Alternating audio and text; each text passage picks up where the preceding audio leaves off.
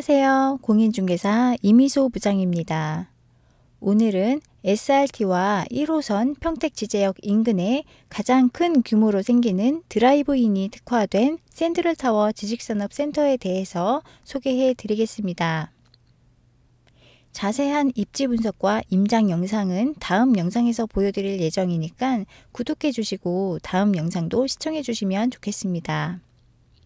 센트럴타워 지식산업센터는 대지면적 4,103평, 연면적 27,350평으로 평택 고덕 신도시와 주변 지식산업센터 중에서 가장 큰 규모이고요.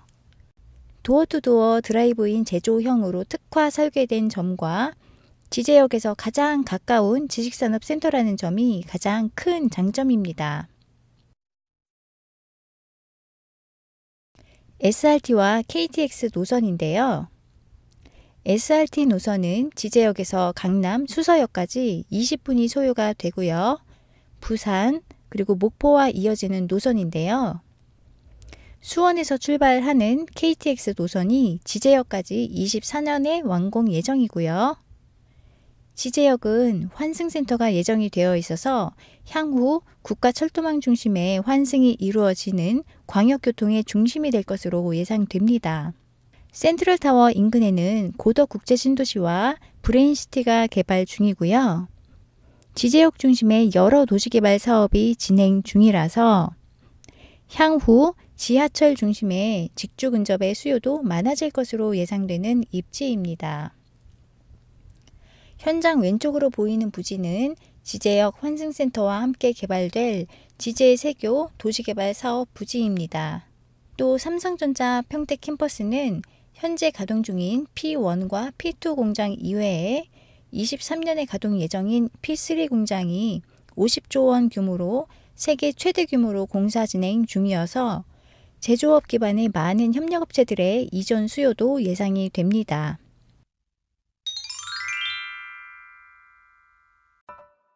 센트럴타워 지식산업센터는 지하 1층부터 8층까지 도어투도어 드라이브인이 가능합니다. 드라이브인 호실 수는 총 290개이고요. 건물 전체의 높이는 66m로 매우 높게 올라갑니다. 지금 보이시는 방향이 동향이고요.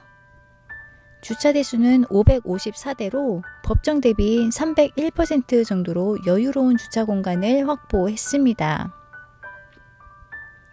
드라이브인 중간층인 5층에는 휴식을 취할 수 있는 넓은 공원이 조성되어 있습니다. 차량이 올라가는 램프는 직선형으로 편리하게 구성되어 있습니다. 드라이브인 호실의 평면도인데요. 보시는 것처럼 모든 호실 앞에 주차가 가능하게 설계되어진 점은 물류가 많은 실입주기업의 업무 효율성을 높여주기 때문에 실입주로 지식산업센터를 선택하실 때 매우 큰 장점이 됩니다. 좋은 호실을 선택하는 방법은 위 번호로 문의 주시면 상담해 드리겠습니다. 9층부터 11층까지는 섹션 오피스로 구성이 되어 있습니다. 호실 수는 총 218개 호실입니다. 모든 호실을 합쳐서 508개의 호실이 있고요. 1층은 근린생활시설 상가로 39개의 호실이 분양 중입니다. 지금 보시는 쪽은 방향이 북향이고요. 대부분의 호실이 실입주기업이 일반적으로 선호하시는 북향과 동향 위주로 호실 배치가 되어 있습니다.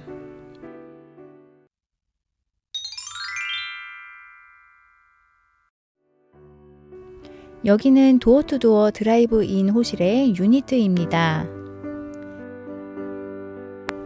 바이오 업체의 인테리어로 꾸며 놓았는데요. 참고하시면 좋을 것 같습니다. 내부 공간이 상당히 넓은데요. 전용 면적 47평 정도 되는 크기입니다.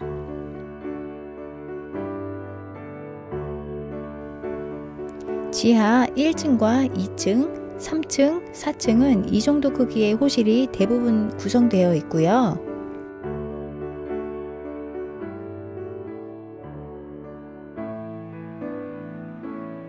5층부터 8층까지는 이 크기의 절반 크기인 23평 정도로 구성이 되어 있습니다. 전층의 층고가 전부 6m로 이루어져 있기 때문에 개방감이 좋고요. 공간 활용성이 좋아서 물류나 창고로 활용하기에도 좋습니다.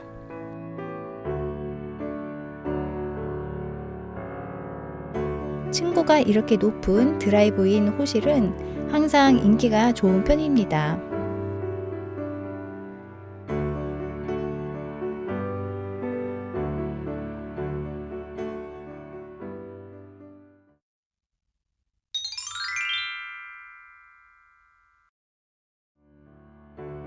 이곳은 센트럴 타워의 섹션 오피스 유니트입니다.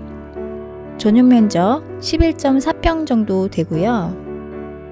층고는 드라이브인 유니트와 똑같이 6m로 개방감 좋게 설계가 되었습니다.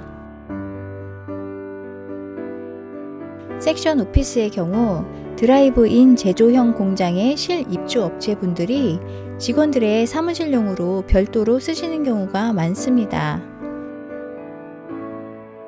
게다가 현장 주변으로 이미 입주를 했거나 앞으로 입주할 아파트의 세대 수만도 총 16,000세대가 넘기 때문에 직주 근접으로 사무실 용도로 쓰시려는 수요도 예상이 됩니다.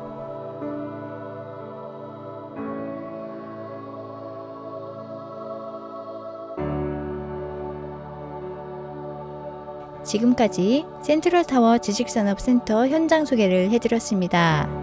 현장 관련해서 궁금하신 사항은 위 번호로 연락 주시면 되겠습니다. 다음 영상에서 뵙겠습니다. 감사합니다.